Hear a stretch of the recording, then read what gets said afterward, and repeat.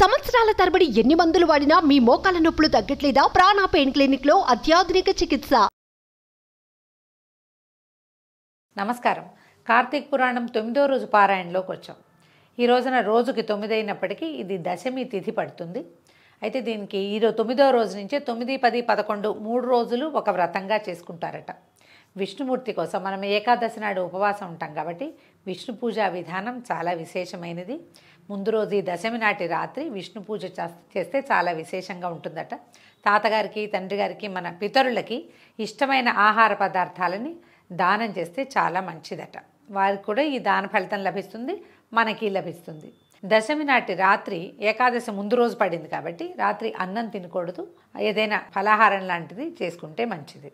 సరే మనం పారాయణలోకి వస్తే అజామిళోపాఖ్యానం గురించి చెప్తున్నాం. వశిష్ఠ మహాముని జనకరాజర్షికి చెప్తున్నారు అజామిళుడి కథ. ఎట్లా సూక్ష్మధర్మాన్ని గురించి వివరిస్తుంటే మనం ఈ అజామిళుడిని ఆ విష్ణుదూతలు తీసుకెళ్తున్నారు. వాళ్ళ వెనకాలే యమదూతలు కూడా వాళ్ళు ఒక జీవుని తీసుకెళ్ళడానికి వచ్చారు. అయితే ఇంకొకళ్ళు ఆ జీవుని తీసుకెళ్ళిపోతుంటే వాళ్ళిద్దరూ సంభాషించుకుంటున్నారనమాట ఇతన్ని మీరు ఎట్లా తీసుకెళ్తారు? అసలు ఎందుకు తీసుకెళ్తారు? అప్పుడు విష్ణుదూతలు అడిగారు. మేము తీసుకెళ్తాం సరే. అసలు మీరెవరిని తీసుకెళ్ళాలి? ఓ యమదూతలారా? మీ ప్రభు మీతో చెప్పిన మాటలేమిటి? మీ యమదండనికి ఎవడు తగినవాడు? పుణ్యం అంటే ఏమిటి? పాతకం అంటే ఏమిటి? ఈ విషయాలన్నీ మాకు వివరంగా చెప్పమని అడిగితే యమదూతలు చెప్పారట. ఓ విష్ణుదూతలారా సావధానంగా వినండి. సూర్యుడు చంద్రుడు అగ్ని వాయువు ఆకాశము గోవులు సంచలు పగళ్ళు దిక్కులు కాలము ఇవన్నీ మనుషులు పాపపుణ్యాలకి సాక్షులు. వాళ్ళ సాక్ష్యంతో మనం వీటిని దండిస్తాం. మనం అంటే పాపుల్ని దండిస్తాం మేము అని చెప్తున్నారు. సాధారణంగా మనం ఏం చేస్తామంటే ఎవరు చూడలేదు అనుకుంటాం కానీ మనకి ప్రత్యక్ష నారాయణుడు సూర్యుడు ఉంటాడు. సూర్యుడు లేనప్పుడు చంద్రుడు ఉంటాడు. వీళ్ళెవరు లేకపోతే మన చుట్టూతా ఉన్న గాలి ఉంటుంది కదా ఇవన్నీ కూడా మనని చూస్తూ ఉంటాయి. ఆ సాక్ష్యాలను బట్టే మన పాపపుణ్యాలు రాయబడతాయి. క్లియర్గా చెప్తున్నారు చూడండి. వేద మార్గాన్ని వదిలి ఇచ్ఛానుసారంగా తిరుగుతూ వేదశాస్త్రములను దూషిస్తూ సాధు బహిష్కృతుడైన వారిని మేము దండిస్తాము.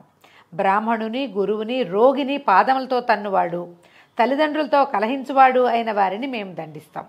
నిత్యము అబద్ధమాడుతూ జంతువుల్ని చంపుచూ కులాచారమును వదిలిన వాడిని కూడా మేము దండిస్తాం. ఇచ్చిన సొమ్ముని తిరిగి తీసుకున్న వానికి అంటే ఎవరికైనా దానం ఇచ్చి వెనక్కి తీసుకుంటే పచ్చి పాపం అండి అది. తీసుకో నువ్వే ఉంచుకొని తర్వాత మళ్ళీ కావాలని తీసుకోకూడదు. డాంబికుని దయాశాంతులు లేనివాడిని పాపకర్మలయందు ఆసక్తులైన వారిని మేము దండిస్తాం. పరుని భార్యతో క్రీడించు వానిని ద్రవ్యమును గ్రహించి సాక్ష్యమును చెప్పు వానిని అంటే దొంగ సాక్ష్యం డబ్బు తీసుకుని దొంగ సాక్ష్యం చెప్పేవాళ్ళకు కూడా యమబాధలు వస్తాయట నేను దాతనని చెప్పుకునేవాడిని మిత్రద్రోహిని ఉపకారము మరచిన వానిని అపకారము చేయు మరిచి ఉపకారాన్ని మరిచి వాడికి అపకారం చేసేవాడికి మేము దండను విధిస్తాం. వివాహమును చెరుచువానిని పెళ్ళిని పాడు చేస్తే ఇతరుల సంపత్తులు చూసి అసూయపడువానిని మేము దండిస్తాము. పరుల సంతానాన్ని చూసి దుఃఖించువాడికి కన్యాశుల్కం చేత జీవించువానికి వడ్డీతో జీవించువానికి కూడా మేము దండిస్తాము. చెరువును నూతిని చిన్న కాలువలను నిర్మించే వ్యాపారాన్ని మార్పించేవాణ్ణి నిర్మితములైన వాటిని చెరుచువానిని కూడా మేము దండిస్తాం. మోహం చేత మాతాపితరుల శ్రాద్ధమును విడిచిన వారిని నిత్యకర్మని వదిలిన వారిని కూడా మేము దండిస్తాం. పరపాక పరిత్యాగిని పరపాక రతుని పితృశేషాన్నాన్ని భుజించే వానిని కూడా మేము దండిస్తాం. పరపాక పరిత్యాగం అంటే తాను వండిన అన్నంలో ఇతరులకు ఎంత మాత్రమూ పెట్టకుండా? తను ఒక్కడే భుజించేవాడు. పితృశేషాన్న భోక్త అంటే శ్రార్థభోక్తలు భుజించిన తర్వాత మిగిలిన అన్నాన్ని అంటే శ్రార్థ భోజనం చేస్తే నరకం వస్తుందని కాదట అర్థం. వాళ్ళు మిగిల్చిన అన్నాన్ని గనక భుజిస్తే అప్పుడు పనికిరాదు. ఇతరుడు దానం చేయి సమయాన ఇవ్వద్దని చెప్పేవాళ్ళు. యాచించిన బ్రాహ్మణుడికి ఇవ్వనివాడు. తన్ను శరడుజొచ్చిన వానిని చంపువాణ్ణి మేము దండిస్తాం. స్నానమును సంధ్యావందనాన్ని విడిచివాండి నిత్యము బ్రాహ్మణ నిందకుని బ్రాహ్మణ హంతకుని అశ్వహంతకుని గోహంతకుని కూడా మేము దండిస్తాం. ఈ మొదలైన పాపాలు చేయు మానవులు యమలోకంలో మా చేత యమయాతనలు పెట్టబడతారు. ఈ అజామిళుడు బ్రాహ్మణుని వంశమందు జన్మించి దాసీసంగలోనుడై పుట్టింది మొదలు చచ్చు వరకు పాపాలే చేశాడు. ఇతంతో చేయబడిన పాపాలకి మితి లేదు. ఇట్టి విప్రాధముడు మీ విష్ణులోకానికి ఎట్లా అర్హుడవుతాడు? ఈ ప్రకారంగా పలికినటువంటి యమదూతల మాటలు విని విష్ణుదూతలు చిరునగవతో వికసించిన ముఖపద్మాలగతోటి మేఘ సమాన గంభీర ధ్వనితోటి ఇట్లా చెప్పారట. ఏం ఆశ్చర్యము? మీరు ఇంత మూఢులు? ధర్మ మర్యాద ఎంత మూఢులు? మీరు చాలా మూఢత్వంగా ఉన్నారు. ధర్మం యొక్క మర్యాదని మేం చెప్తాం వినండి అంటున్నారు. విష్ణు పార్షదులు చెప్పేటువంటి ధర్మం ఏమిటో చూద్దాం. దుస్సంగమాన్ని విడుచువాడు సత్సంగము ఆశ్రయించువాడు నిత్యము బ్రహ్మచింతనము చేయువాడు యమదండార్హుడు కాదు. ఎవరైతే దుష్టులతో సావాసం చేస్తాడు తెలుసుకుని మానేసిన వాడికి యమదండన రాదట. సత్సంగంలో ఉండేవాడికి రాదు. నిత్యము బ్రహ్మచింతన అంటే భగవన్నామాన్ని స్మరించేవాడు. ఇదంతా భగవంతుని యొక్క సృష్టి విలాసమని భావించేవాడికి కూడా యమదండాన్ని ఉండదు. వాడేదో జీవిక కోసం ఏవో చేస్తాడు. కానీ వాడికి తెలుసు ఇదంతా భగవంతుని లీలా వైచిత్ర్యమే తప్పిస్తే మనది కాదన్న భావన ఉంటుంది. అలాంటి వాడికి యమదండనం ఉండదట. స్నాన సంధ్యములు ఆచరించేవాడు జపహోమాదులు ఆచరించేవాడు సర్వభూతములెందు దయావంతుడు యమలోకాన్ని పొందడు. సత్యవంతుడై అసూయాదోషరహితుడై జపాగ్ని మంత్రములను చేయుచు కర్మల ఫలిత ఫలములను బ్రహ్మయందు ఉంచినవాడు యమదండార్హుడు కాదు. ఏదైనా సరే అంతా భగవంతుడికే సమర్పయామే. వాడికి కూడా యమదండ ఉండదు. కర్తృభోక్తృత్వాదులను సగుణ పరమేశ్వరుని ఎందు స్థాపించి ఈశ్వరార్పణ బుద్ధితో కర్మల్ని ఆచరించుట చేత ఆచరించుటే తాత్పర్యంగా కలవాడు కూడా యమధర్మందిరానికి వెళ్ళడు. అన్నదానం చేసేవాడు జలదాత గోదానకర్త ఆ వృషోత్సర్గకర్త యమలోకాన్ని పొందడు. వృషోత్సర్గం అంటే ఆంబోతికి అచ్చుపోసి వదిలిపెట్టడం. ఈ కాలంలో చాలా మంచిదట. ఇదివరకు చేసేవాళ్ళండి ఇప్పుడు మనకు అట్లా కనిపించటం లేదు. ఆ పద్ధతులు కూడా ఇప్పుడు ఊళ్ళల్లో లేవు. విద్యను కోరిన వాడికి విద్యాదానం చేసేవాడు పరోపకారం నందు ఆసక్తి కలిగిన వాడికి కూడా యమలోకం ఉండదు. హరిని పూజించేవాడు హరినామాన్ని జపించువాడు వివాహములను ఉపనయనాల్ని చేసేవాడు యమలోకాన్ని పొందడు. మార్గమధ్యంలో మండపాలు కట్టించువాడు క్రీడాస్థానాల్ని కట్టించేవాడు దిక్కులేని శవమునకు ఆ, సంస్కారాన్ని చేసేవాడు అనాథప్రేత సంస్కారికి కూడా యమలోకం ఉండదట. నిత్యము సాలగ్రామార్చన చేసి ఆ తీర్థమును పానం చేసి దానికి వందనమాచరించువాడు కూడా యమలోకాన్ని పొందడు. తులసి కాష్టమాలికను మెడయందు ధరించి హరిని పూజించేవాడికి వాడు సాలగ్రామంను పూజించేవాడికి కూడా యమలోకం ఉండదు. భాగవతమును రాసి గృహమందు పూజించుచున్నను గృహమందు ఉంచుకున్నను కూడా యమలోకాన్ని పొందడు ఇదివరకు ప్రతులు రాసుకునేవారండి. ఎవరి దగ్గరైనా పుస్తకం ఉంటే భక్తి కలిగిన వాళ్ళు వాళ్ళ ఇంటికి వెళ్ళి కూర్చుని లేదా గురువు యొక్క ఆశ్రమానికి వెళ్ళి కూర్చుని భాగవత ఘట్టాలు చేత్తో రాసుకుని తాటాకు మీద తెచ్చుకునేవాళ్ళు. ఆ పుస్తకాలు రాసుకోవటం అనేది చాలా విధానంగా ఉండేది. ఇది వంశ చరిత్రలు కూడా ఇప్పుడు ఆ రాజు గురించి మనం ఏదైనా ఒక కథ రాయాలనుకోండి ఆ రాజుగారి ఆస్థానానికి వెళ్ళి వాళ్ళ వంశ చరిత్ర ఉన్న దాన్ని వీళ్ళు కాపీ చేసుకుని తెచ్చుకునేవాళ్ళు. ఇట్లా భాగవతాన్ని ఎవడైనా రాసుకుంటే వాళ్ళకి మోక్షమే తప్పిస్తే యమదండన ఉండదట. రుద్రాక్ష మాలికలు ధరించి జపదాన హోమాదులు ఆచరించేవాడు కూడా యమలోకం లేదు.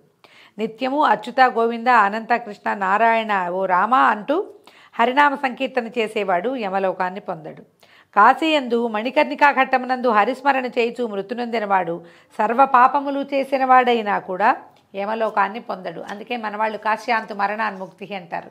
కాశీయందు మరణిస్తే ముక్తి లభిస్తుంది అని. అక్కడ ఏంటంటే అట్లా హరినామస్మరణ శివనామస్మరణ జరుగుతూ ఉంటుంది.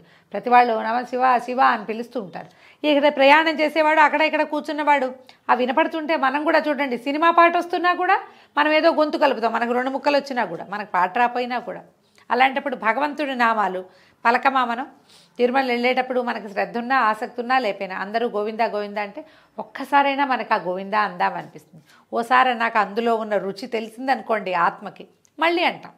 ఈ నెంబర్ ఆఫ్ టైమ్స్ అనటం వల్ల వాడికి మోక్షం వస్తుందని చెప్తున్నారనమాట దొంగ కళ్ళు తాగువాడు మిత్రహంతకుడు బ్రాహ్మణహంత గురుభార్యారథుడు స్త్రీహత్య రాజహత్య గురుహత్య గోహత్య చేసిన పాపాత్ములు కూడా మరణకాలమందు హరినామస్మరణ చేస్తే యమబాధల నుంచి ముక్తి పొందుతారు. మహిమ తెలుసుకొని కానీ తెలియక కానీ మరణకాలమున హరినామ సంకీర్తన చేసిన వారు పాపాత్ములైన ముక్తి కలుగుదురు ముక్తి నొందుదురు. బాగుంది.